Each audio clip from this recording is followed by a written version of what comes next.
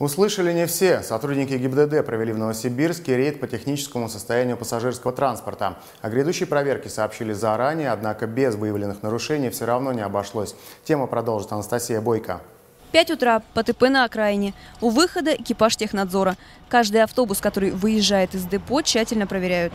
Перемещение узлов и деталей рулевого управления.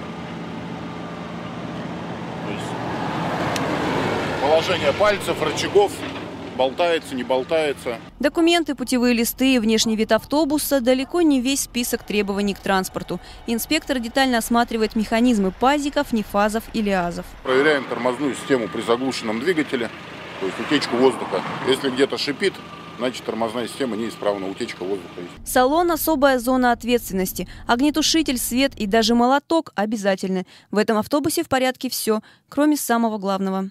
Не дай бог резко тормознет, сидушка оторвется и вот тебе, пожалуйста, бабушка ударилась об что-нибудь. Владелица депо говорит, уже устали ремонтировать то, что ломают пассажиры.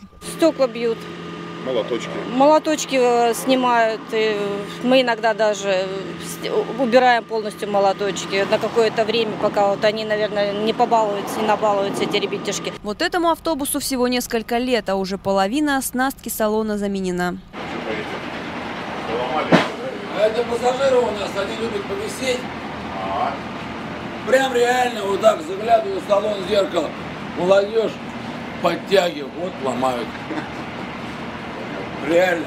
В этом ПТП 10 автобусов, 6 из них абсолютно новых. К ним и претензий нет.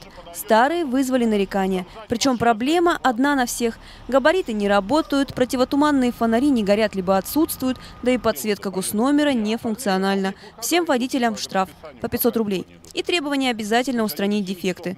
Такие проверки инспекторы проводят обычно два раза в год. Неожиданные после ДТП с участием автобусов, троллейбусов и трамваев. Учитывая, что в Новосибирской области аварийность на транспорте выросла сразу на 72% по сравнению с прошлым годом, проверки будут проходить чуть ли не ежедневно.